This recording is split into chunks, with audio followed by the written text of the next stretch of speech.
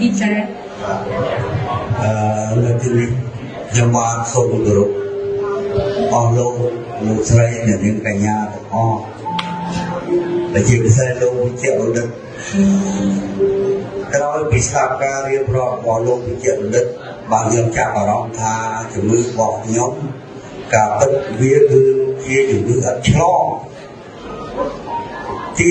1នៅពេលដែលខ្ញុំទៅវៀតណាមខ្ញុំឆ្លងហូបបាល់ខ្ញុំវាមានដុសសាច់ម្ដុំដុសសាច់ម្ដុំនៅគូបាល់ដោយសារអីដោយសារកាលពីនៅក្មេងខ្ញុំទូលម៉ូតូធ្ងន់ពេកអញ្ចឹងណាបាទហើយបន្ទាប់មកទៀត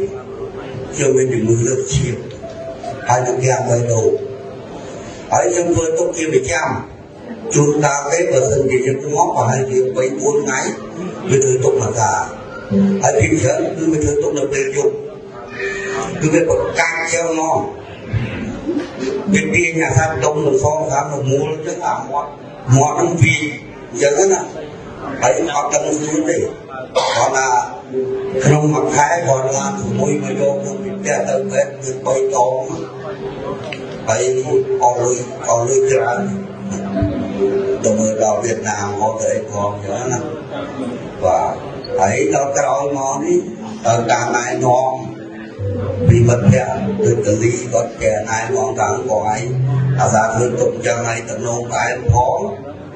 បើអីទៅពីអខទៅហើយខ្ញុំអត់ខ្ញុំ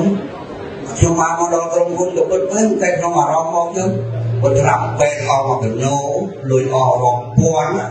អត់ជាផងហើយនេះឲ្យមកប្រើពីរកតាមកំប៉ុងតូចតូចទៀត ហើយដល់ពេលនេះខ្ញុំចាប់ដើមលេងខ្ញុំយល់តាមគាត់ទេបានហើយជាជាង10ថ្ងៃ